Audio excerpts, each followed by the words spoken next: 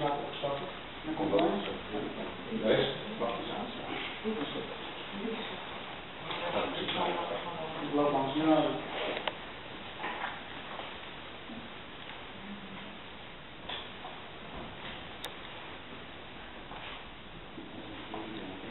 Ja, nee, dat is allemaal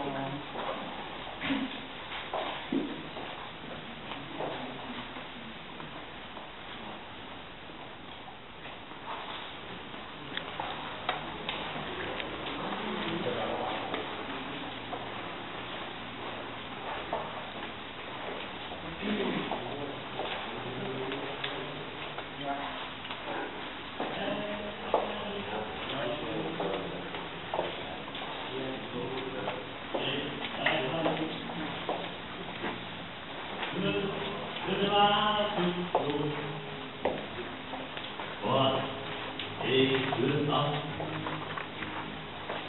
met ons gedaan. Dat alles wat aan in vrede bestaan. Maar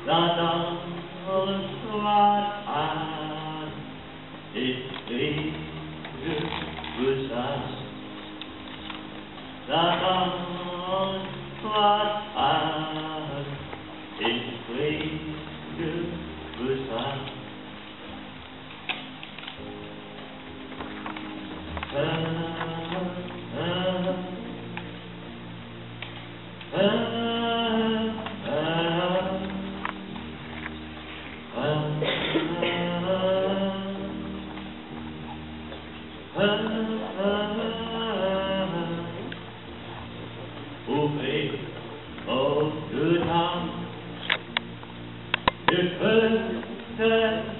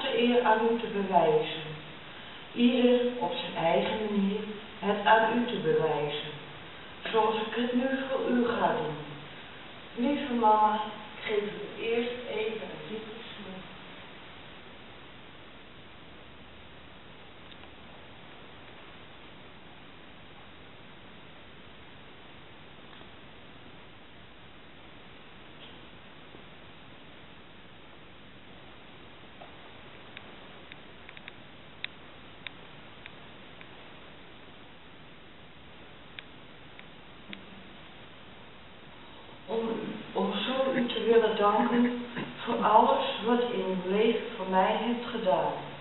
U en ik hebben veel moeten doorstaan. Het was niet altijd even fijn. U deed mij ook vaak wel eens pijn. Maar ik heb het u vergeven. Met al mijn liefde uit mijn hart heb ik het u gegeven. Lieve mama, rust maar zacht. U hebt genoeg gedaan. U kunt nu naar papa toe gaan. Heel verliefd van uw liefhebbende dochter Corina en uw schoonzoon Jack Luisterburg tegen.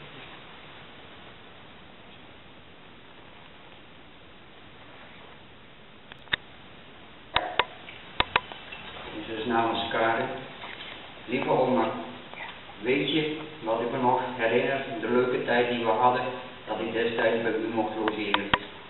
We hebben de Eenzes gevoerd en we hebben ook soms, dat u bij ons toen sliep, hebben we kiezelstenen in het water gegooid.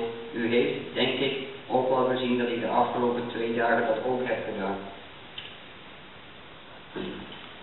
Ik zal die leuke dingen van ons in, mijn gedachten houden en ik zal er ook heel vaak over praten, geloof me, maar dat doe ik. Dat beloof ik u.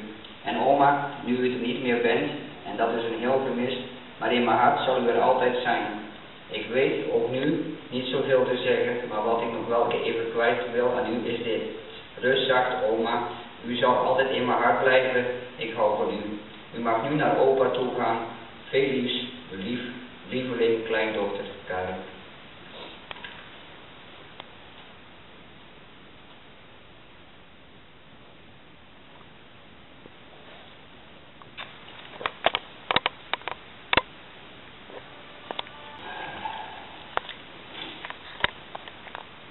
Lachend, zoals ik mij haar herinner.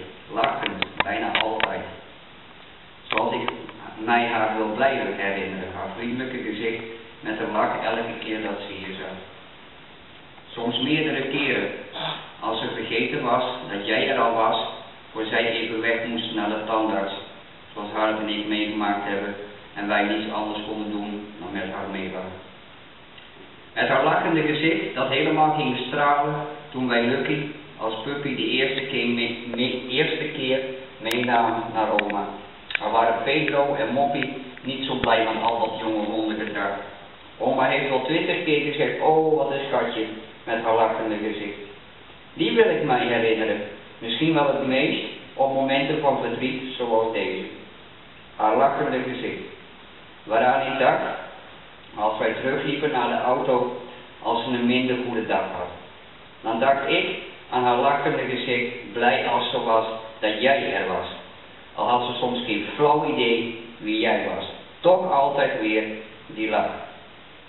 Behalve als ze wist of zag dat je een dier in haar ogen iets aandeed. Al hoorde je, bij wijze van spreken, een kiezelsteekje naar een kater die al een uur onder je slaapkamer aan, want niet jouwe was. Je mocht blij zijn dat ze het kiezelsteekje niet teruggooiden. Of niet, oma? Dat vriendelijke, lachende gezicht. Zoals ik mij haar herinner en zal blijven herinneren. Want wij, Harriet en ik, hebben heel veel en vooral veel met oma gelachen. En soms om haar.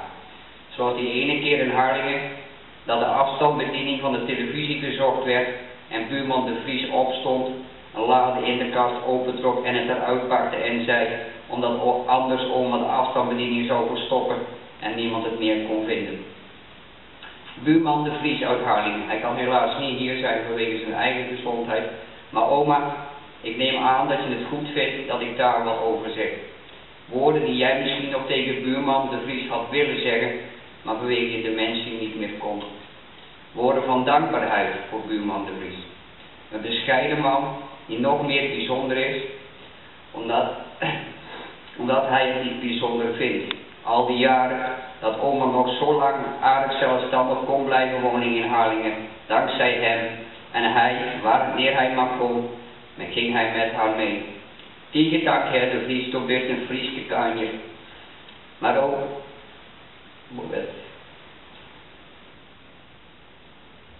maar ook de mensen, de verzorgers en ander personeel bij Almere en de laatste anderhalf jaar in Nieuw-Totenburg in Noordburgen. Oma, mevrouw de Jong voor jullie, zou het goed vinden als ik tegen jullie zeg namens haar hartelijk dank vanuit het diepst van het hart voor alle lieve, goede verzorging en aandacht die jullie hebben gehad. Ook jullie zijn bijzonder en grote kanjes. Lachend, zo wil ik je herinneren, oma, zoals ik je heb leren kennen, al waren het maar vijf jaar.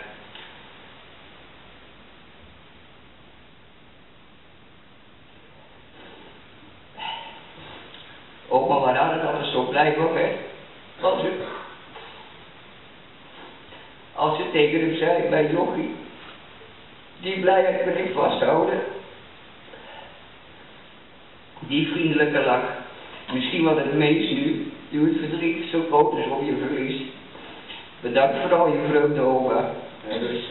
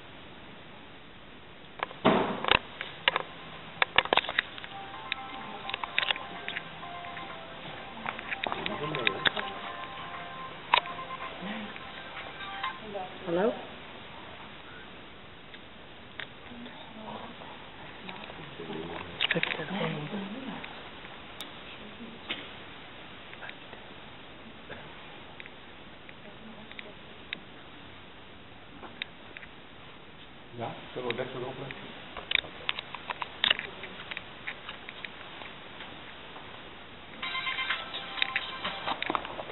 Doe je ook goed.